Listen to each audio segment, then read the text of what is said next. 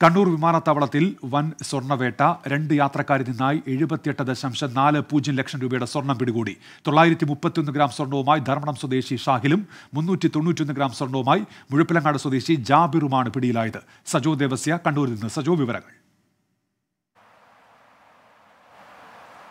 ആ, ഉന്മേഷ് കണ്ണൂർ വിമാനത്താവളം വഴിയുള്ള സ്വർണക്കടത്ത് പതിവാകുന്നുണ്ട്. പരിശോധനയും കർശനമാക്കുന്നതിന്റെ ഭാഗമായും ഇന്ന് രണ്ട് സംഭവങ്ങളാണ് ഉണ്ടായത്. ഒന്ന് കസ്റ്റംസിനെ വെട്ടിച്ച് കടന്ന സ്വർണം എയർപോർട്ട് പോലീസാണ് പിടികൂടിയത്. അത് അൻപത്തി അഞ്ച് ലക്ഷം രൂപ മൂല്യം വരുന്ന തൊള്ളായിരത്തി മുപ്പത്തി ഒന്ന് ഗ്രാം സ്വർണമാണ് പിടികൂടിയത്. ധർമ്മടം സ്വദേശി മുഹമ്മദ് ഷാഹിലിനെയാണ് എയർപോർട്ട് പോലീസ് പിടികൂടിയത്. കസ്റ്റംസ് പരിശോധനയിൽ തന്ത്രപരമായി വെട്ടിച്ച് പുറത്തു കടന്നിരുന്നു. ജ്യൂസ് മിക്സറിനകത്ത് മിക്സർ ബാഗേജിലായിരുന്നു ഉണ്ടായിരുന്നത്. അതിനകത്താണ് സ്വർണം ഒളിപ്പിച്ചിരുന്നത്. മറ്റൊരു സംഭവം കൂടി ഇന്ന് കസ്റ്റംസ് ആണ് സ്വർണം പിടികൂടിയത്.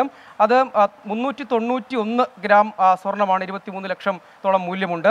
മുഴപ്പിലങ്ങാട് സ്വദേശി ജാബറിൽ നിന്നാണ് ഈ സ്വർണം പിടികൂത് വസ്ത്രങ്ങളിൽ സ്വർണം ഒട്ടിച്ചു പിടിപ്പിക്കുകയാണ്. പല രൂപത്തിൽ പല ഭക്ഷ്യസാധനങ്ങൾക്കകത്ത് കൊണ്ടുവരുന്ന ഇലക്ട്രോണിക് ഉപകരണങ്ങൾക്കകത്ത് അങ്ങനെ പല രീതിയിൽ ശരീരത്തിനകത്ത് ഒക്കെ ഒളിപ്പിക്കാൻ ശ്രമിക്കുന്ന സംഭവങ്ങൾ നിരവധിയാണ്.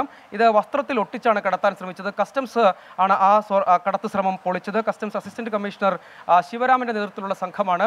സംശയത്തെ തുടർന്ന് പരിശോധന നടത്തുകയും കണ്ടെത്തുകയും ചെയ്തത്. അങ്ങനെ രണ്ട് കേസുകളാണ് ഉണ്ടായത്. വലിയ മൂല്യമുള്ള സ്വർണമാണ് രണ്ട് സംഭവങ്ങളിലുമായി പിടികൂടിയത്.